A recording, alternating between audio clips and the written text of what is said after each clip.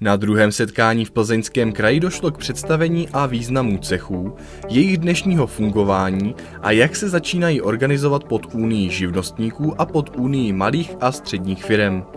To bylo prezentováno Pavlem Žatečkou, který je generálním sekretářem cechu malířů, lakírníků a tapetářů a má na starosti organizování cechů z nejrůznějších profesních oblastí a je předsedou dozorčí rady Unie živnostníků. Konečně někdo chce něco dělat pro ty malé a hlavně dát ty malé dohromady, protože řemeslníci ty jsou roztroušený po jednom, maximálně si stěžují v hospodě, ale to není žádná síla. Pokud se spojíme dohromady, tak budeme mít takový ten tah na branku a budeme moct něco dokázat. Ono už to, že jsme se spojili jako řemesla, jenom řemesla, malíř, lakírník, tapetář do jednoho cechu, velmi pomáhá, ale přesto jsme slabí.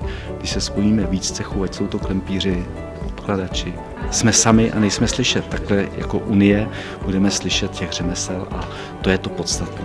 A co to přinese nejenom pro nás, pro ten cech, že opravdu to pomůže tvořit to podnikatelské prostředí, protože cech tady je hlavně proto, aby hlídal kvalitu řemesla pro vás, pro ostatní občany, pro státní firmy, pro památky, aby se nešidilo, aby se dělalo poctivě, kvalitně a vlastně za ty peníze ta práce byla poctivě odvedená a vydržela. Dále bylo představeno grémium pro obě unie, které bude navenek reprezentovat, hájit a zastupovat unie na nejrůznějších jednáních se zástupci politických stran a různými odbornými organizacemi.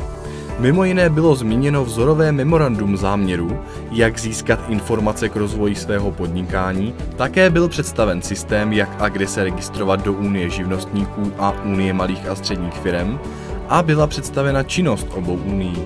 Určitě, mě to, ten, ta beseda zaujala, zvlášť vystoupení některých, některých eh, vašich členů, který je vidět, že prostě to podnikání skutečně dělají delší dobu a eh, dotkli se tam některých problémů, které tíží i mě, problémy v učňovském školství, s kterými skutečně mám problémy, protože Eh, když vezmu, že my máme skutečně možná na dva, na tři roky práci dopředu, musíme to omezovat, že nemáme učně, který skutečně tuto kvalitní práci de facto ten vrchol toho autoopravárenství můžou dělat.